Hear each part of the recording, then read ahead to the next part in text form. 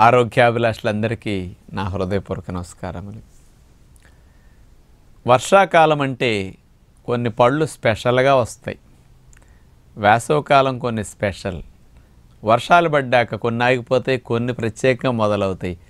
అలా వచ్చిన పండ్లల్లో సీతాఫలం ఒకటి.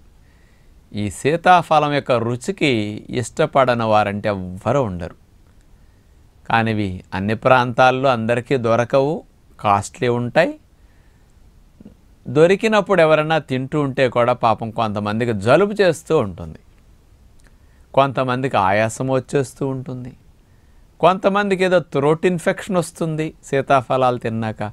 కాబట్టి ఒక్కసారి ఇలాంటి లక్షణాలు ఏమైనా కనిపిస్తే నాకు సీతాఫలం పడద్దు అని ఒక స్టాంపు కొట్టేస్తారు సీతాఫలానికి. ఇప్పుడు కూల్ డ్రింక్స్ తాగి ఐస్ క్రీమ్స్ తిని ఫాస్ట్ ఫుడ్లు జంక్ ఫుడ్లు తింటే ఏం తేడాలు రాలేదు కదా మీకు అస్సలు?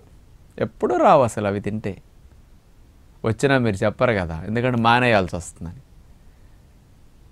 జలుబు చేసినా ముక్కు గారుతున్నా దగ్గు వస్తున్నా దగ్గుతారు కానీ మళ్ళా తీసుకెళ్ళి మూతే కూల్ డ్రింక్లో పెడతారు. ఐస్ క్రీమ్స్కి పెడతారు. స్వీట్లు తింటారు. కానీ అన్ని వచ్చినా వాటిని మనం. సీతాఫలం తింటే జలుబు వచ్చిందని సీతాఫలం తింటే ఒకసారి త్రోట్ ఇన్ఫెక్షన్ వచ్చిందని. లైఫ్ టైం సీతాఫలం మానేయటం. మనిషి చేయవలసిన పనేనా? అంత చక్కటి పండ్లు ప్రకృతి ప్రసాదిస్తే దాన్ని కూడా ఆస్వాదించడానికి మనకు అదృష్టం లేకపోతే ఇంకేంటండి జీవితం? షుగర్ ఉన్నవారు కూడా తినండి. కాకపోతే రెండు మూడు నాలుగు తినొద్దు. ఒక్క సీతాఫలం తినండి. సీజనల్గా దొరికినప్పుడు రోజుకి ఒక్కటి తిన్నా మీకేం కాదు? మనం చెప్పినట్టు కాస్త మొలకలు తిన్నాక తినండి. సాయంకాల పూట డ్రై నట్స్ కొబ్బరి ఇట్లాంటివి తింటూ ఒక ఫ్రూట్ సీతాఫలం తినండి మీకు షుగర్ ఏం పెరగదు. వంద గ్రాముల సీతాఫలం is equal to calories one naught four calories అది.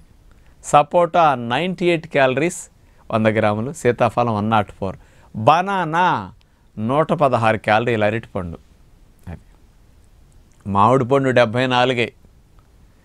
కాబట్టి దొరక దొరక దొరికే పండు అందుకని ఎప్పుడు దొరికినా వదలొద్దని అంట నేను. కొన్ని ప్రాంతాల్లోనండి ముఖ్యంగా తెలంగాణలో నేను బాగా విన్నానండి. సీతాఫలాన్ని కూడా పచ్చికాయలు తెచ్చి దాన్ని కూడా కాల్చుకు తింటారు. జలుబు చేయకూడదని సీతాఫలాలను ఎక్కడన్నా కాల్చుకు తినొచ్చండి. దానికి రకరకాలుగా అది పెట్టి ఇది పెట్టి ఇంకా తింటారు. అంచేత పండుని ఎప్పుడు అట్లా పాడు చేయొద్దు. పండుని పండు కాదేనండి మీకు జలుబు చేయకుండా థ్రోట్ ఇన్ఫెక్షన్ రాకుండా ఇట్లాగే ఏదైనా ఇరిటేషన్ రాకుండా మీకు సీతాఫలం తినాలంటే ఒక టెక్నిక్ ఉంది ఇక్కడ. సీతాఫలాన్ని మనం తెచ్చిన తర్వాత దోరగా పండుతుంది. మెగలు ముగ్గాక అన్ని పళ్ళు తినొచ్చు కానీ సీతాఫలం మెగలు ముగ్గాక తింటే మీకు తేడాలు వస్తాయి. లూజు లూజుగా నీరు కారేటట్టు అయిపోతుందండి. సీతాఫలం అట్లా పట్టుకుంటేనే గింజల తొక్క నుంచి ఊడి మొత్తం కుప్పలాగా రాలిపోతే చిత్ర తింటుంటే కింద కూడా పడిపోతాయి. అలా లూజ్ అయి మీరు తింటుంటే నీరు కారిపోతూ అట్లా ఉంటే కనుక ఆ సీతాఫలాల వల్ల కొంతమందికి జలుబు వస్తుంది. కొంతమందికి త్రోట్ ఇన్ఫెక్షన్ వచ్చేది అలా తినటం వల్ల. ఇది రీజన్ చెప్తాను ఎందుకో. ఈ సీతాఫలాలు మీరు దోరగా ముగ్గి కొంచెం మెత్తగా ఉన్నాయి అన్నప్పుడు కరెక్ట్గా ఆ పదునదండి అట్లా తినాలి. అలా తిన్నప్పుడు మీరు అట్లా ఆ లోపలుండే సీతాఫలం గింజల పైన గుజ్జు చూసారా దోరగా ముగ్గినప్పుడు తెల్లగా ఉండి గట్టిగా ఉంటుంది ఒక గట్టిగా అంటే మరీ గట్టిగా కాదండి. తినటానికి మెత్తగా నోట్లేస్తే గింజ ఓడాల. నోట్లో పెట్టినప్పుడు ఆ గుజ్జు ఓడకుండా గింజకు పట్టుకుంటున్నదంటే అది కరెక్ట్ కాదు మళ్ళా. చక్కగా గుజ్జు ఓడాలి గింజ ఫ్రీగా వచ్చేసేయాలి. మీరు అట్లా నాలుగు తట్ట అనేసరికి.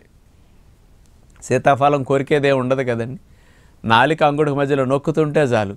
దంతాల దగ్గర కొంచెం అటు అల్లేసరికి చాలు గింజ బయటకు వచ్చేస్తుంది ఆ ఫాములో తింటే అందులో బ్యాక్టీరియాలు కానీ ఫంగస్ కానీ ఎక్కడ డెవలప్ కావండి. అది సీతాఫలం తినాల్సిన అసలైన స్టేజ్. కానీ మనం ఒకేసారి ఒక డజన్ కొనుక్కుంటాం. ప్రొద్దున అట్లాంటి తింటాం. సాయంకాలం అయ్యేసరికి అది లూజ్ అవుతుంది అనుకోండి. కొంతమందికి అట్లా జలుబు తేడా ఇన్ఫెక్షన్ వస్తుంది అన్నవారు వాళ్ళు అవి మానేసేయండి. అవి ఇంకోళ్ళకి ఇవ్వండి. మీరు తినండి. మీ లెవెల్కి మీ బాడీకి మీ ఇమ్యూనిటీకి ఆ కండిషన్ లేదు కాబట్టి మీరు ఇట్లా దోరగా పండి నేను అన్నట్టు గట్ ఆ గుజ్జు అట్లా తెల్లగా అట్లా ఉండాలన్నమాట. అది రంగు మారకూడదు నీరు వచ్చినట్టు ఉండకూడదు. అప్పుడే అసలైన రుచి సీతాఫలానికి ఉంటుందండి. ఆ స్టేజ్లో తినాలి. అట్లా తినండి. ఇక మిగల ముగ్గి సాయంకాలానికో నెక్స్ట్ డే మార్నింగ్కో లూజ్ అయ్యి సీతాఫలం అట్లా పట్టుకుంటేనే ఊడిపోయి ఇట్లా వస్తుంది? అలాంటివి తిన్నా మీకేమో జబ్బులు రావు కానీ ఇదిగో కొంతమందికి జలుబనో థ్రోట్ ఇన్ఫెక్షన్ ఇట్లాంటివి కొంచెం ఇమ్యూనిటీ తక్కువ ఉన్న వాళ్ళకి వస్తాయి. అలాంటి రోజు తింటే మీరు అలవాటు చేశారనుకోండి మీ బాడీ ఆ బ్యాక్టీరియాలకి దాని ద్వారా ముగల ముగ్గినందుకు వచ్చిన ఫంగస్కి ఏదైనా ఉంటే సీతాఫలం ఒకచోట క్రాక్ వస్తుంటాయండి. ఆ గ్యాపులు వస్తాయి. ఆ కళ్ళు అంటారు సీతాఫలం కళ్ళు. ఆ కళ్ళు అక్కడన్నా విచ్చినప్పుడు అక్కడ వెళ్తాయి ఫంగస్లు అక్కడ వెళ్తాయి బ్యాక్టీరియాలు.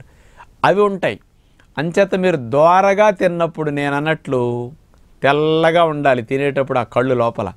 అప్పుడు మాత్రం ఆ బ్యాక్టీరియాలు ఏమీ చేయవు. డెవలప్ కావన్నమాట వాటి గ్రోత్ ఉండదు.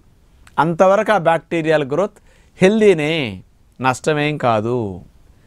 అదే మెగల ముగ్గుపై లూజ్ వచ్చేసేసరికి ఈ బ్యాక్టీరియల్ గ్రోత్ ఫంగల్ గ్రోత్ విపరీతంగా లక్ కోట్ల సంఖ్యలో పెరిగిపోతుంది అనమాట అంచేత ఇమ్యూనిటీ లేని వారికి అవి అటాక్ చేయటం వల్ల జలుబున థ్రోట్ ఇన్ఫెక్షన్స్ అని ఇరిటేషన్స్ అని ఇట్లాంటివి వస్తాయి అన్నమాట ఆయాసం కూడా ఎక్కువయ్యేది అలాంటి వాటి వల్లే కొంతమందికి.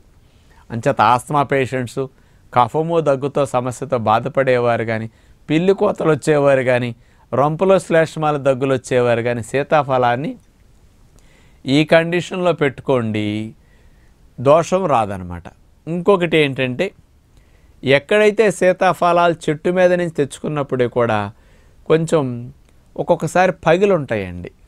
బాగా తయారై తెల్లగా కళ్ళు అట్లా విప్పినప్పుడు పగులుతాయి ఒక్కొక్కసారి. గింజ బాగా పెరిగి కండ బాగా పెరిగేసరికి పగులుతాయి ఆ ప్రెషర్కి. ఆ పగిలిన చోట మాత్రం ముగ్గేసరికి కొంచెం అక్కడ ఫంగస్ చేరుతుందండి. అలాంటి చోట కొంచెం స్పూన్తో తీసేసుకోండి. ఈజీగా అంటే ఆ దోషం ఉంటుంది అక్కడ. అది మనకి టేస్ట్ కూడా డిఫరెంట్గా ఉంటుంది. అది లేకుండా మిగతా చోట మనం తీసుకు తింటే ఏమీ లోపలికి వెళ్ళదు. అక్కడ వరకు ఎంటర్ అయ్యింది. అక్కడి నుంచి స్ప్రెడ్ అవ్వకుండా మనం తినేస్తున్నాం కాబట్టి. సీతాఫలాలు తినడానికి సులువైన టెక్నిక్ ఒకటి చెప్తానండి. చాలామంది అట్ట ఒలుసుకు తింటారు. కొంత గుజ్జు ఉండిపోతుంది. స్పీడ్గా తక్కువ టైంలో తినాలన్నా కూడా ఈజీగా తినాలంటే సీతాఫలాన్ని చక్కగా చేయండి. ఒక చక్కెట్టు ఒక చక్కెట్టు. స్పూన్ పెట్టండి.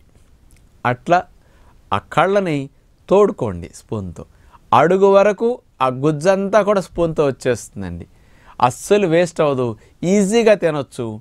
చేతుల్లో జారి ఆ కళ్ళన్నీ మళ్ళీ అటుపడి ఇటుపడి పోకుండా ఇబ్బంది లేకుండా తినొచ్చు అనమాట అట్లా స్పూన్తో సీతాఫలం తింటాం.